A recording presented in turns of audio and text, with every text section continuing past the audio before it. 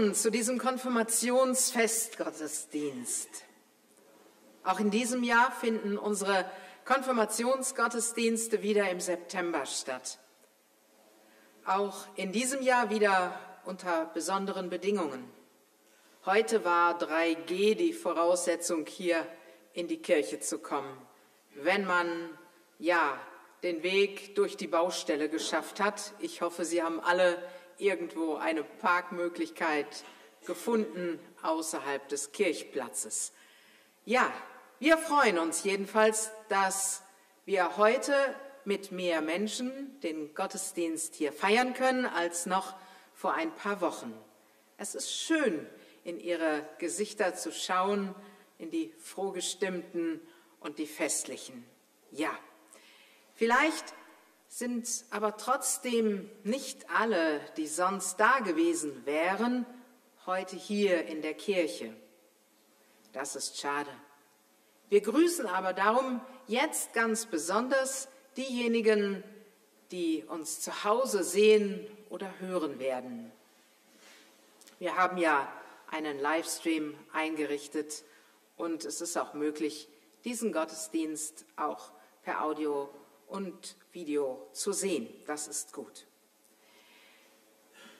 Ja, liebe Konfis, das ist euer Tag heute. Wir freuen uns mit euch. Endlich ist es soweit. Wir feiern ein Fest, an dem ihr Ja sagt zu eurer Taufe. Und ein Fest, an dem ihr euch zu eurem Glauben bekennt.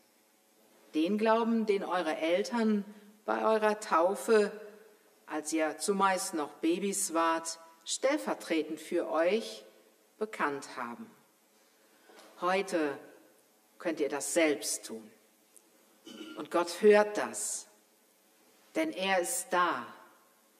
Ihr seid ihm wertvoll und wichtig, denn ihr seid Selfies of God, Gottes Selbstporträts könnte man übersetzen. Wie das gemeint ist, das erklären wir gleich noch. Jetzt aber, ja, gibt's erstmal Musik.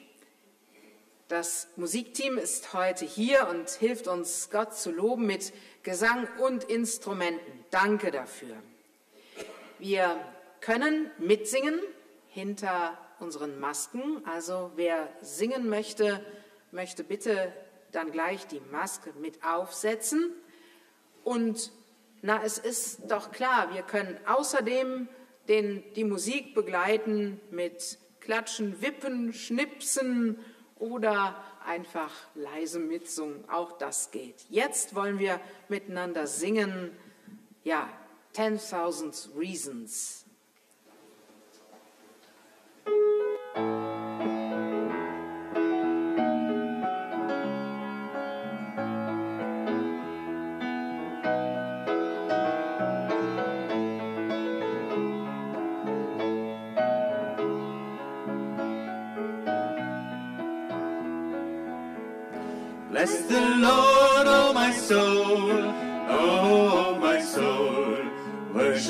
Holy name. Sing like never before, oh my soul, I worship Your holy name. The sun comes up, it's a new day dawning. It's time to sing your song again. Whatever may pass and whatever lies before me. Me be singing when the evening comes. Bless the Lord, oh my soul, O oh my soul. Worship His holy name. Sing like never before, oh my soul. I worship Your holy name. You're rich in love and you're slow to name is great and your heart is kind. For all your goodness I will keep on singing. Ten thousand reasons for my heart to find. Bless the Lord, oh my soul, oh my soul. Worship His holy name.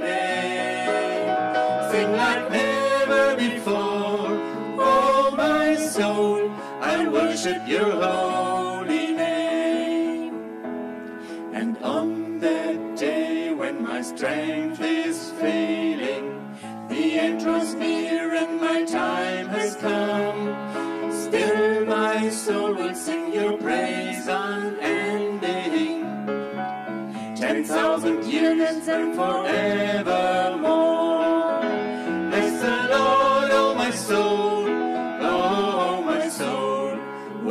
His holy name. Sing like never before, oh my soul. I worship your holy name. Worship your holy name. Worship your holy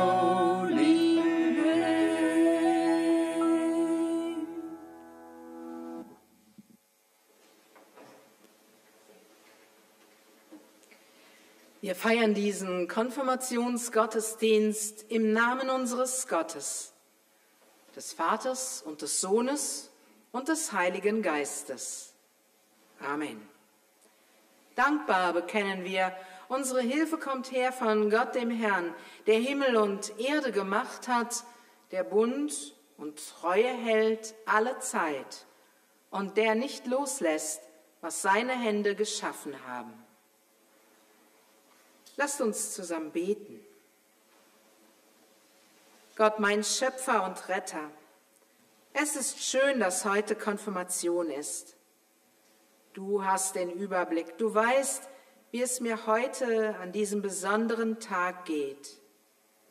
Es ist gut, dass ich mit dir reden kann, immer und überall und auch jetzt hier. Ich lege dir alles hin, was mir wichtig ist, auch das, was mich jetzt unruhig macht, all meine Aufregung, was mich beschäftigt. Nimm du es, mach du mich ruhig, lenke meine Gedanken auf dich hin, du Lebendiger. Lass mich hören und verstehen.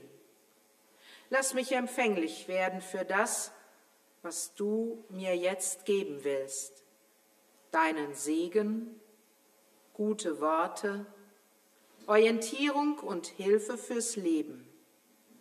Komm du mit deinem Heiligen Geist und lass mich erleben, wie gut es tut, bei dir zu sein.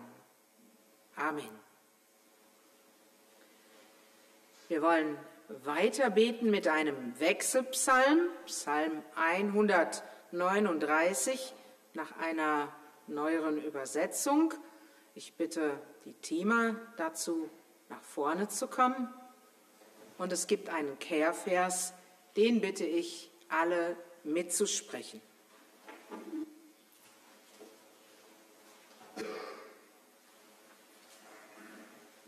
Du kennst mich ganz genau.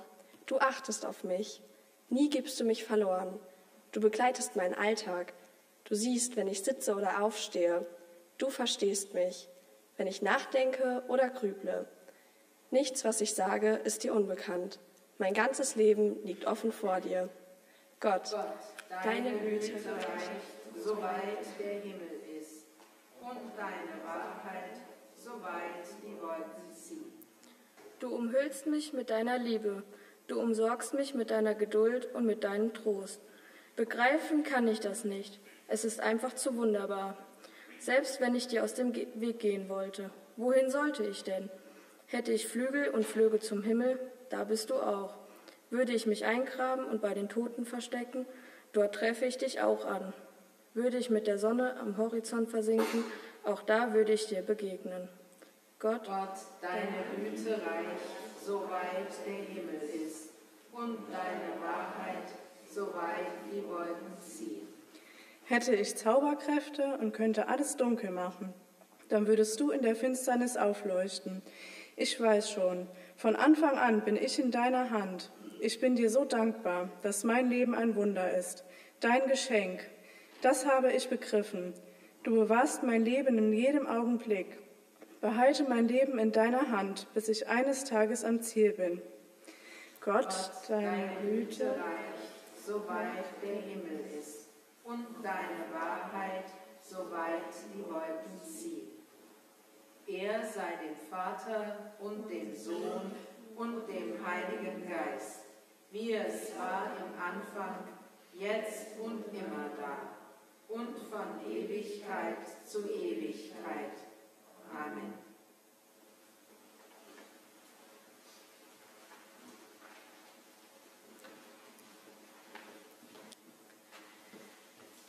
Liebe Konfirmanden, liebe Konfirmanden, Konfirmation heißt Bestärkung, Befestigung im Glauben, sich festmachen an Jesus. Heute könnt ihr euren Glauben an Jesus Christus festmachen, heute. Diesen Glauben, den eure Eltern und Paten bei eurer Taufe stellvertretend bekannt haben. Mit den Worten, die die Kirche in alter Zeit als Bekenntnis dieses Glaubens gefunden hat, werden wir jetzt gemeinsam das apostolische Glaubensbekenntnis sprechen. Und ich bitte dazu, nach Möglichkeit aufzustehen.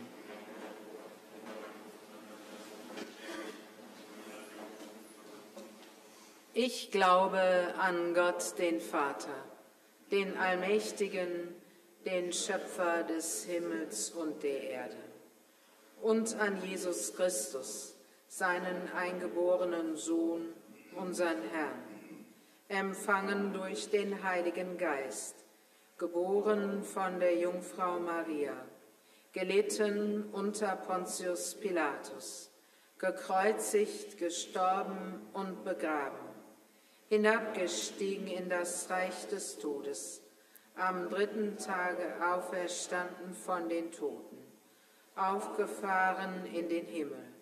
Er sitzt zur Rechten Gottes, des allmächtigen Vaters. Von dort wird er kommen, zu richten die Lebenden und die Toten. Ich glaube an den Heiligen Geist, die heilige, allgemeine christliche Kirche, Gemeinschaft der Heiligen, Vergebung der Sünden, Auferstehung der Toten und das ewige Leben. Amen. Bitte nehmen Sie Platz. Wir singen, Herr, ich komme zu dir.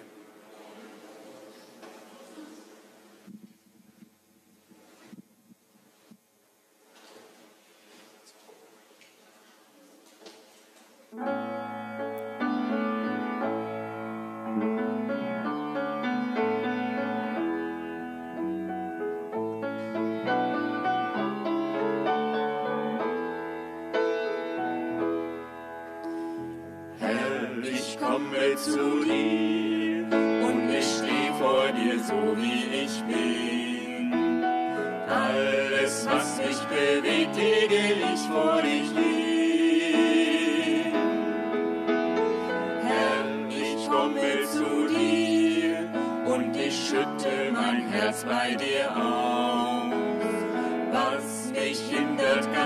dir nicht verborgen,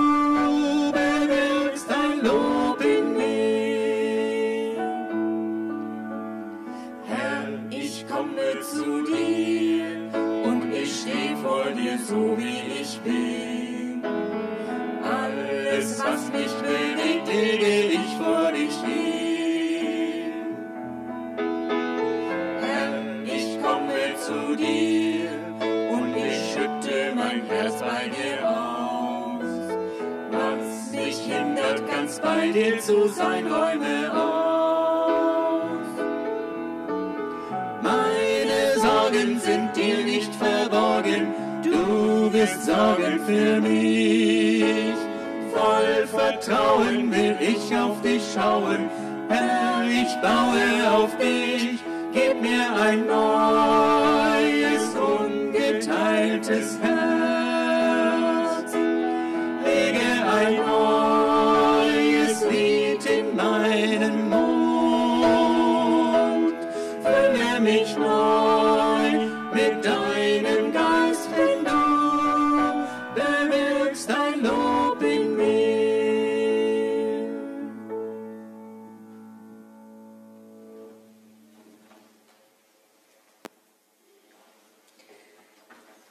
Konfis, liebe Gemeinde, die meisten von uns werden schon mal eins gemacht haben.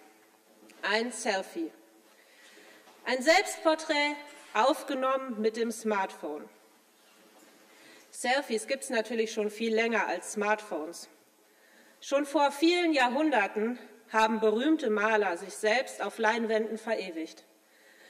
Meistens haben diese Künstler dann eine besondere Eigenschaft von sich selbst auf das Bild gemalt.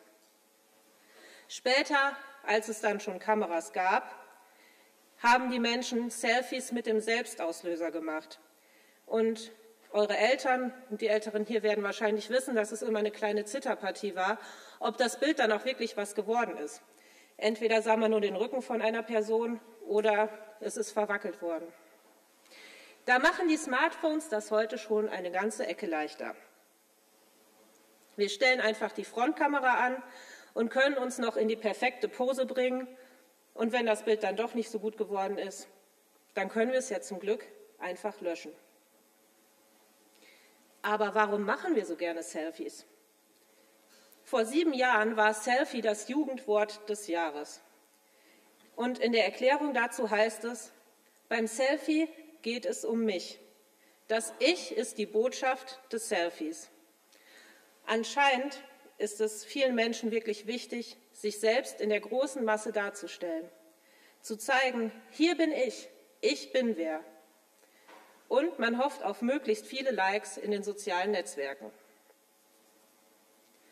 Das Thema unseres Konfirmationsgottesdienstes heute heißt Selfies of God. Manch einer mag sich vielleicht fragen, macht Gott denn wirklich Selfies von sich, also Selbstporträts? In der Bibel steht sehr deutlich, dass doch noch niemand Gott je gesehen hat. Und ihr Konfis habt ja schließlich auch im Unterricht die zehn Gebote lernen müssen. Und da steht klipp und klar, du sollst dir kein Gottesbild machen. Und gerade da liegt der Unterschied. Weil wir uns kein Bild von Gott machen sollen, hat Gott selbst eins gemacht. Eben ein Selfie. Das erste Selfie Gottes, das wir ganz am Anfang der Bibel finden, ist der Mensch. Im ersten Schöpfungsbericht lesen wir, lasst uns Menschen machen, unser Ebenbild, uns gleich sollen sie sein. Sie sollen herrschen über die Fische im Wasser und die Vögel am Himmel, über das Vieh und die ganze Erde und über alle Kriechtiere auf dem Boden. Und Gott schuf den Menschen nach seinem Bilde. Als Gottes Ebenbild schuf er ihn als Mann und Frau. Stellen wir uns das mal vor. Gott will sich ein Gegenüber machen, das ihm gleich ist. Und heraus kommen viele unterschiedliche Menschen mit unterschiedlichen Haut- und Haarfarben, in unterschiedlichen Größen und von unterschiedlichem Geschlecht. An dieser Stelle möchte ich einen kleinen Witz erzählen. Eine Bäuerin sagt zu ihrer Freundin, du, mein Mann schenkt mir zum Geburtstag ein Schwein. Die Freundin antwortet, das sieht ihm ähnlich. Darauf die Bäuerin, ach, hast du es schon gesehen? Natürlich ist das ein großes Missverständnis zwischen den beiden Frauen. Die Freundin meint sicher nicht, dass das Schwein so aussieht wie der Bauer, sondern dass es ganz typisch für ihn ist, seiner Frau so etwas zu schenken. Es sieht ihm ähnlich. Und so können wir uns das auch mit der Ebenbildlichkeit von Gott vorstellen. Gott hat in uns Menschen viele seiner Eigenschaften hineingelegt. Wir sind dazu fähig, mit anderen Menschen in Beziehung zu treten. Wir können einander mit Liebe begegnen, einander verzeihen, um, uns umeinander sorgen und kümmern. Gott hat sich den Menschen als ein Gegenüber geschaffen, weil er mit uns eine lebendige Beziehung haben möchte. Und Gott hat seinen Selfies sogar die Note sehr gut gegeben. Und das entspricht mehr als unendlich vielen Likes auf Instagram. Leider haben diese sehr guten Selfies von Gott im Laufe der Zeit ziemlich gelitten. Sie sind unscharf, verwackelt, ja fast nicht mehr zu erkennen. Die Menschen wollten nicht mehr abhängig von ihrem Schöpfer sein. Sie wollten selbst bestimmen und aus den guten Eigenschaften wie Liebe und Fürsorge wurde Hass, Missgunst und Streitsucht. Wenn wir heutzutage mit unserem Selfie nicht zufrieden sind, dann löschen wir es einfach oder wir legen irgendeinen Filter darüber, sodass unsere Augenringe nicht mehr ganz so sehr zu sehen sind oder unsere Haut auch im Winter schön gebräunt aussieht. Man könnte jetzt denken, dass Gott ja auch einfach seine Selfies hätte auslöschen können oder sie irgendwie künstlich verschönern. Aber Gott hatte da eine ganz andere, viel bessere Idee. Im Kolosserbrief im Neuen Testament lesen wir folgenden Vers. Er ist das Ebenbild des unsichtbaren Gottes. Da taucht plötzlich ein neues Selfie von Gott auf, und zwar in der Person von Jesus Christus, der von sich selber sagt, wer mich sieht, sieht den Vater. Jesus ist das perfekte Selfie von Gott. Auf den ersten Blick beim Lesen der Evangelien kann man sich schon denken, wenn Jesus das perfekte Abbild von Gott ist, dann gibt Gott eine ziemlich traurige Gestalt ab. Er kommt in einem dreckigen Stall zur Welt, zieht als Wanderprediger durchs Land, gibt sich mit den Ärmsten der Armen ab und mit den unbeliebtesten Menschen der Gesellschaft. Er legt sich mit den höchsten jüdischen Würdenträgern an und macht sich ziemlich unbeliebt. Doch genau darin liegt die Ebenbildlichkeit zu Gott. Gott liebt seine Geschöpfe so sehr, dass er selbst in Gestalt seines Sohnes auf die Erde kommt. Er wird Mensch. Er begibt sich zu seinen Geschöpfen auf Augenhöhe zu denen, auf, den normale, auf die normalerweise alle nur herabsehen. Jesus schenkt seine volle Aufmerksamkeit den Kranken, den Armen, den Kindern, aber auch Verbrechern und Betrügern. Er vergibt ihnen und lädt sie ein, ihm nachzufolgen. Bei jedem von uns gibt es sicher Dinge, die unser Selbstporträt unansehnlich machen, die das Selfie verwackeln oder unscharf werden lassen. Wir sind halt zutiefst menschlich und können gar nicht immer so sein, wie Gott sich uns vorgestellt hat. Aber gerade diese Vergebung, die Jesus schon damals den Verbrechern und anderen Menschen zuteil werden ließ, die gilt auch für uns heute. Die ist nicht nur ein Filter, die den Makel auf unserem Selfie überdeckt. Diese Vergebung macht uns als Mensch, als Kind Gottes von Grund auf neu und ermöglicht es uns wieder mit Gott in die ursprüngliche Beziehung zu treten. Gemeinschaft mit ihm zu haben. Denn das ist der tiefe Glaube, den wir eben zusammen bekannt haben, dass wir in Ewigkeit mit Gott und somit auch mit Jesus zusammenleben werden. Liebe Konfis, ich wünsche euch heute einen ganz besonderen Tag, der mit Sicherheit das ein oder andere Selfie wert ist. Dass ihr Gottes perfektes Selfie Jesus Christus in eurem Leben kennenlernt. Denn auch nach der Konfizeit gibt es noch sehr viel bei ihm zu entdecken. Ich wünsche euch, dass ihr erleben dürft, wie gut es tut, eine lebendige Beziehung mit Jesus zu haben. Dass ihr euch in eurem langen Leben, das noch vor euch liegt, immer darauf verlassen könnt, dass Jesus eure Wege mit euch geht. Und weil ich weiß, dass es wirklich nicht immer einfach ist, auf der Glaubensspur zu bleiben, möchte ich euch einladen, auch weiterhin den Kontakt zur Kirchengemeinde zu halten, euch bei Fragen an uns zu wenden Ihr seid jederzeit bei uns herzlich willkommen. Gleich bekommt jeder von euch den Konfirmationsspruch zugesagt. Diesen findet ihr dann auch auf eurer Konfirmationsurkunde, aber auch auf dem Bild, das ihr letzte Woche noch am Samstag gestaltet habt. Ihr seht sie hier auch noch mal an den Wänden. Das sind Selbstporträts der Konfirmanden in Form der Konfirmationssprüche gucken Sie sich bei den Konfis die Bilder mal an. Das ist ganz toll. Wir können Die Konfisprüche, die von euch selbst ausgewählt wurden, sollen euch in eurem Leben begleiten. Sie sollen euch an den Tag erinnern, an dem ihr persönlich Ja zu einem Leben mit Jesus Christus gesagt habt. Außerdem findet ihr in euren Konfitaschen auch noch ein Popsocket. Die Konfis wissen hoffentlich, was das ist. Damit ist das Selfie-Machen mit dem Smartphone deutlich einfacher. Aber es soll auch eine Erinnerung daran sein, dass jeder einzelne von euch ein ganz besonders wunderbar gemachtes Selfie von Gott ist. Amen.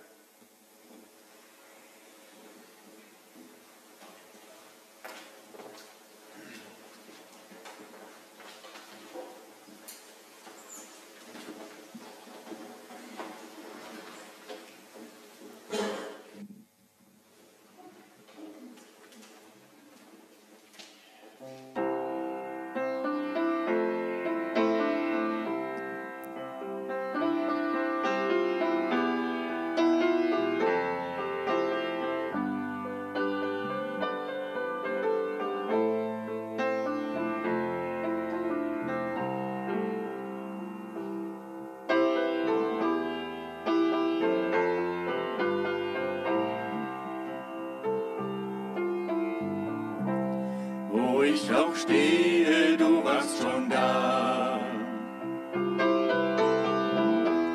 Wenn ich auch fliehe,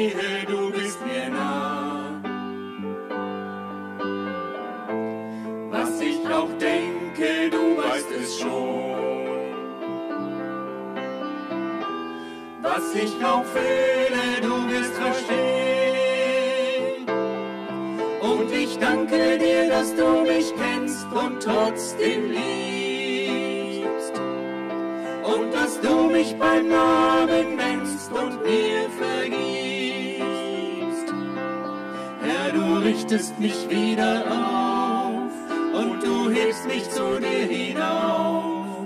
Ja, ich danke dir, dass du mich kennst und trotzdem liebst.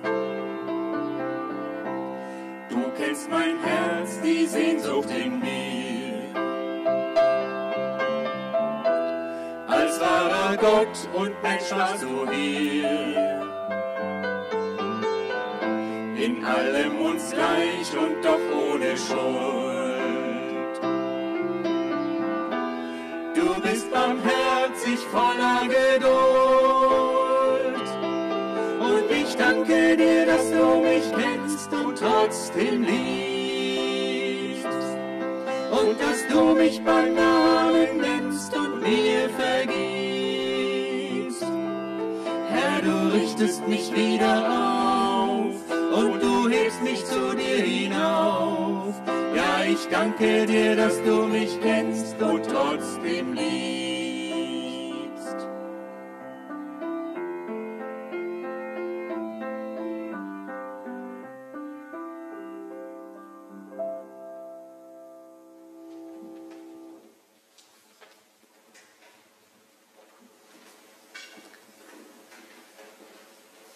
Liebe Konfirmandinnen, liebe Konfirmanden, ich bitte euch jetzt aufzustehen.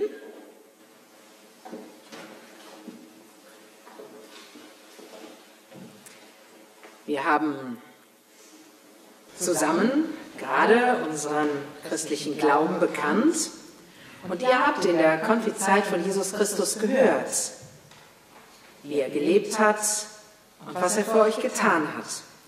Nun ruft er euch im Geist der Nächstenliebe und der Gerechtigkeit ihm nachzufolgen. So frage ich euch, wollt ihr zur Gemeinde Gottes gehören und dem Vertrauen auf die Treue Gottes im christlichen Glauben bleiben und wachsen? Wollt ihr euch beschenken lassen von Gottes bedingungsloser Liebe? Möchtet ihr euch heute zu eurer Taufe bekennen? Wenn ihr das wollt, dann antwortet Ja mit Gottes Hilfe. Dann wollen wir für euch beten. Lieber Vater im Himmel, du kennst uns besser, als wir uns selbst kennen. Du schaust hinter die Masken, die wir aufsetzen, weil wir uns vom Virus schützen müssen, aber auch hinter die, die wir tragen, damit wir uns davor schützen, dass andere nicht sehen, wie wir wirklich sind, wo wir vielleicht verletzlich oder uncool oder gar nicht so sind, wie wir gerne gesehen werden wollen. Du schaust uns liebevoll an. Dir sind wir wertvoll, so wie wir sind. Du willst mit uns leben. Du suchst echte Beziehung zu uns, die alles überdauert, selbst Schuld und Tod. Dafür hast du deinen Sohn ans Kreuz gehen lassen. Dafür ist er auferstanden. Jetzt hast du uns gerufen, damit wir dir Antwort geben, dein Ja sagen zu dir. Wir bitten dich, hilf uns, an dir dran zu bleiben, immer wieder nach dir zu fragen, auf dich zu hören, damit wir Leben gewinnen, das echt und richtig und gut ist. Beschütze uns, wenn wir unterwegs sind, vor Gefahren, die unserem Körper drohen, wie auch vor Gefahren für unsere Seele. Gieß deinen Segen über uns aus, dass wir erleben, wie gut du es mit uns meinst. Amen. Was wir für euch gemeinsam erbeten haben, das wollen wir euch jetzt auch einzeln und ganz persönlich zusprechen. Kommt und empfangt den Segen Gottes und ein Bibelwort als euren Konfirmationsspruch.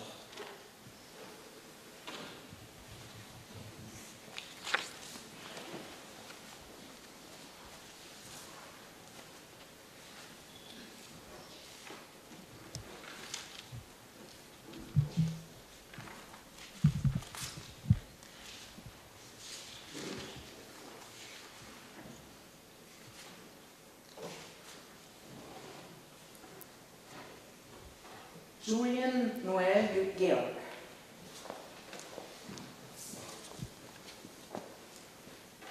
Alles Molly. Den Sander. Und Nick Strunk.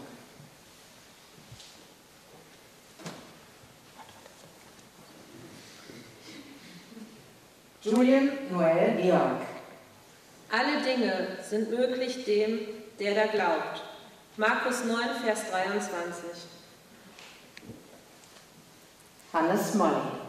Der Herr ist mein Hirte, mir wird nichts mangeln. Psalm 23, Vers 1. Lynn Sander. Gott spricht, siehe, ich sende einen Engel vor dir her, der dich behüte auf dem Wege. 2. Mose 23, Vers 20. Nick Strunk. Sei getrost und unverzagt und warte auf Gott. Psalm 27, Vers 14. Kniet bitte nieder.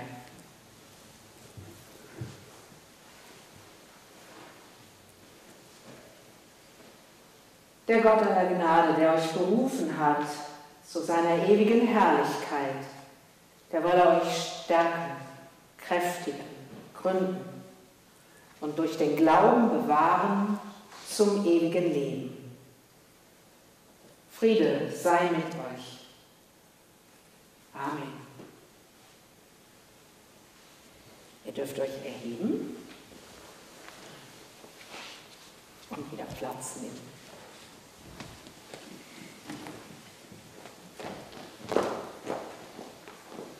Wir singen miteinander.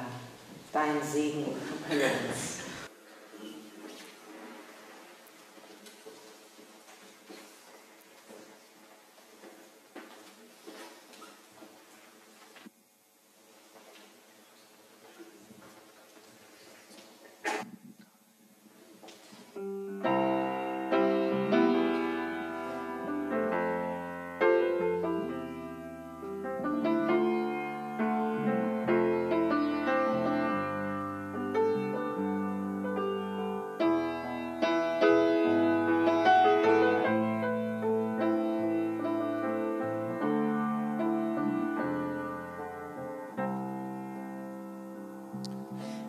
Dein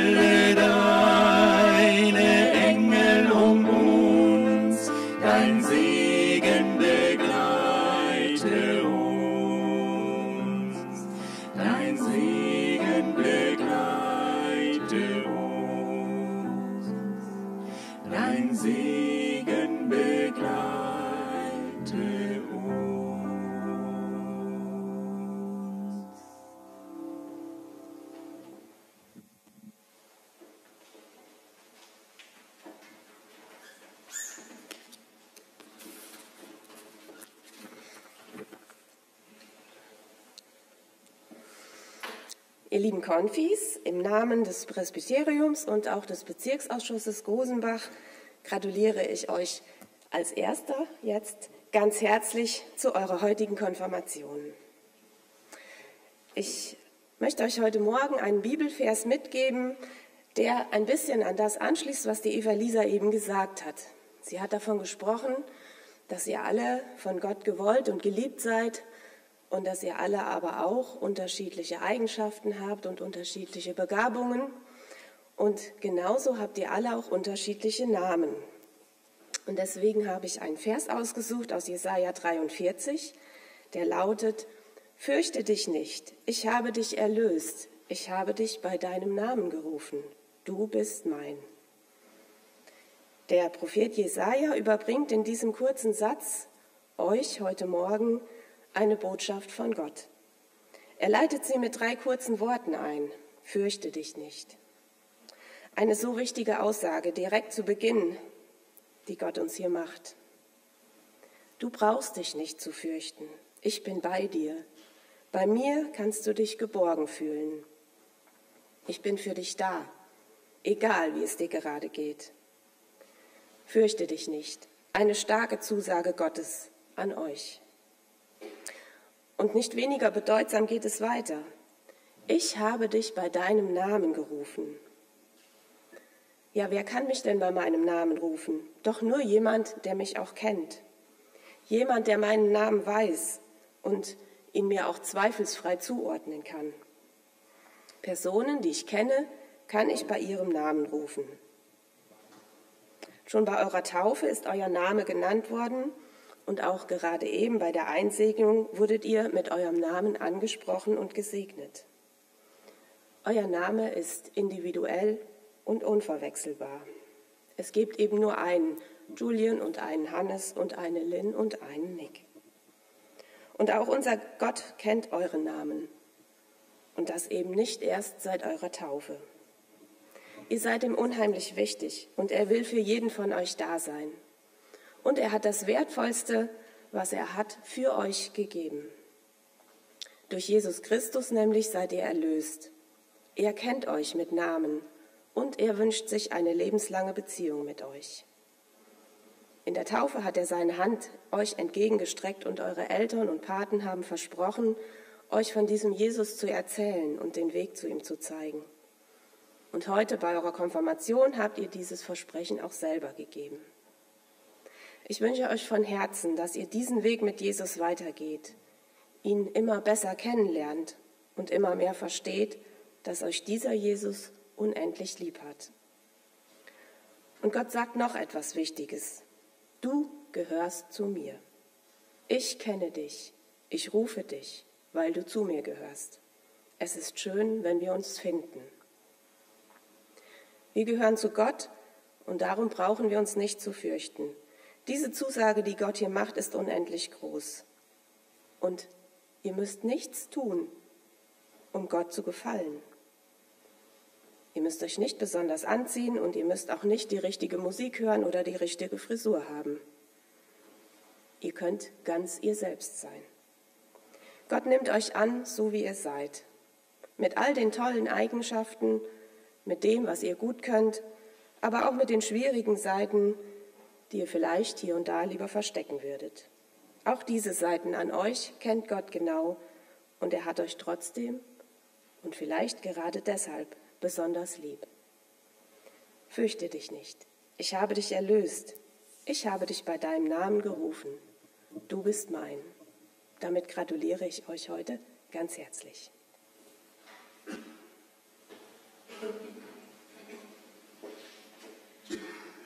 Jetzt wollen wir miteinander Fürbitte halten. Ich bitte diejenigen, die diese Fürbitten äh, vortragen werden, nach vorne zu kommen und Sie alle, soweit es geht, dazu aufzustehen.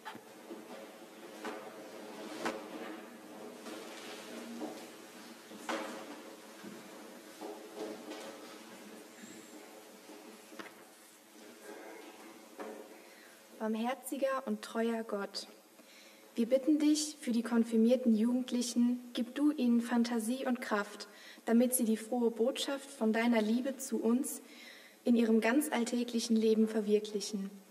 Lass sie diesen Tag in dieser so besonderen Zeit genießen und in guter Erinnerung behalten. Lass, sie dies, lass diesen Tag für sie aber auch zur Ermutigung werden, mit dir und unserer Kirche Kontakt zu behalten.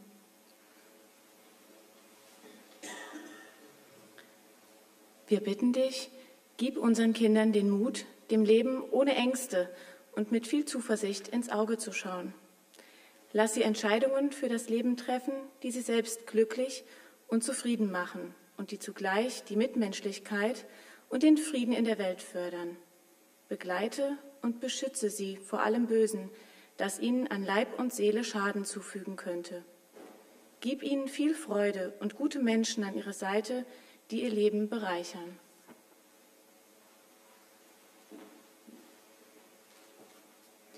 Herr, gütiger Gott, wir bitten dich für deine Kirche. Lass uns diese Konfirmierten den Raum in deiner Gemeinde geben, den sie brauchen, um ihren Glauben zu entfalten. Lass sie Gemeinschaft und Geborgenheit erleben und lass sie im Glauben weiter wachsen.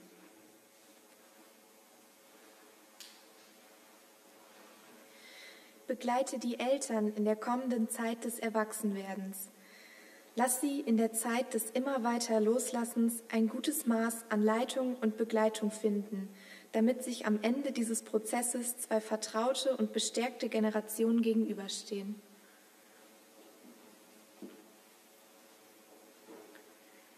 Wir bitten dich für die Menschen, die heute nicht oder nicht mehr mit uns feiern können. Überwinde du durch deine Liebe Trennung, Krankheit und Tod. Überwinde Leid und Trauer und lass uns die guten Tage in Erinnerung behalten.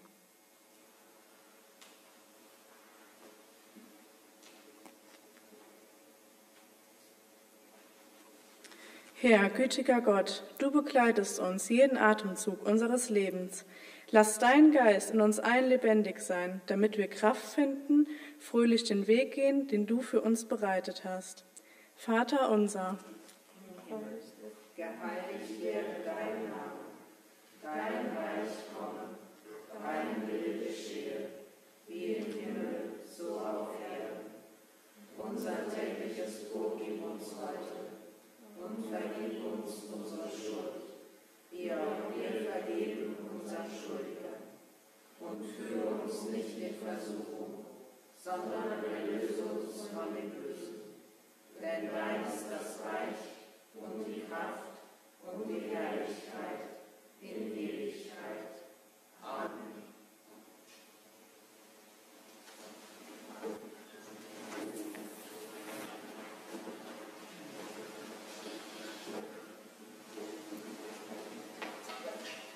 Ja, am Schluss dieses Gottesdienstes möchte ich Dankeschön sagen. Allen, die diesen Gottesdienst sichtbar oder im Hintergrund mitgestaltet haben.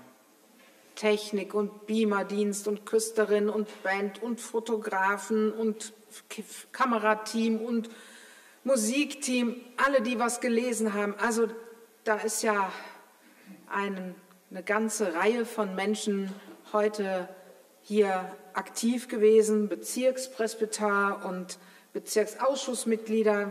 Ich hoffe, ich habe niemand vergessen. Das ist ja so eine lange Liste.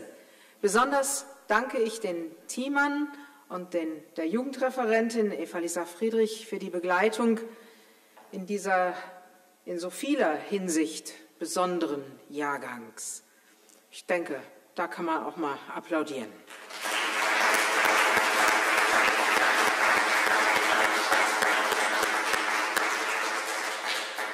Dank aber auch an die Patinnen und Paten, die diese Konfirmierten heute, ja, bis heute in ihrem Amt als Patin, als Pate aktiv dieses Amt auch ausgefüllt haben und begleitet haben. Das Patenamt hat ja offiziell kein Ende. Darum bitte ich, suchen Sie auch weiterhin Kontakt zu Ihren Patenkindern. Seien Sie weiterhin für sie da. Allen Gemeindegliedern, die diese Jugendlichen in der zurückliegenden Konfizeit in der Fürbitte begleitet haben, sei auch Dank gesagt. Dann möchte ich noch ein kurzes Wort zum Geld sagen. Wir legen eine Kollekte zusammen jeden Sonntag. Die vom vergangenen Sonntag für die Weltmission erbrachte 111,85 Euro. In der Gesamtgemeinde waren das 769,56 Euro. Im Klingelbeutel waren 129,40 Euro.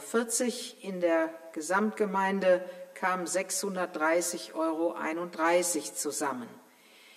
Die heutige Kollekte, die wir im Opferstock zusammenlegen, ist bestimmt für die Diakonie in Westfalen. Den Klingelbeutel, den sammeln wir im Körbchen am Ausgang für diakonische Aufgaben unserer eigenen Gemeinde. Vielen Dank für alle Gaben. Und dann bitte ich draußen auf dem Kirchplatz, soweit es geht, äh, einfach Abstand voneinander zu halten, wo es nicht geht, vielleicht die Maske doch aufzusetzen, auch wenn das nicht vorgeschrieben ist, einfach ein bisschen dieses Gespür zu haben, was ist jetzt dran. Und ich bitte auch, sich nicht zu lange hier auf dem Kirchplatz aufzuhalten, weil ja der Gottesdienst äh, dann mit, dem, mit der zweiten Konfirmationsrunde ähm, dann ja auch beginnt und wir das ähm, ja auch miteinander regeln müssen, dass äh, Zu- und Abfahrt oder Ablauf eher heute Morgen wegen der Baustelle möglich ist. Ja. Und ähm, damit es auch ein wenig noch geordnet hier in der in der Kirche zugeht, folgende kleine Regieanweisung. Gleich nach dem musikalischen oder beim musikalischen Nachspiel werden die Konfirmandinnen und Konfirmanden zuerst die Kirche durch den Mittelgang wieder verlassen und sie dann draußen auf dem Vorplatz erwarten. Dann aber wird die Kanzelseite von hinten beginnend über den Seiteneingang, Seitengang die Kirche verlassen dies geschieht möglichst zügig und ohne sich noch lange hinten aufzuhalten. Die Leinwandseite schließt sich von hinten nach vorne erst an, wenn niemand auf der Kanzelseite mehr sitzt. Ich denke, dieses Ballett ist lang eingeübt und wird auch heute funktionieren. Ganz herzlichen Dank. Nun begleite uns Gottes Segen in diesem Tag, uns alle.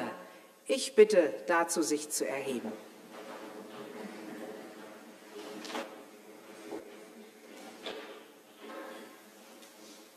Der Herr segne euch und behüte euch.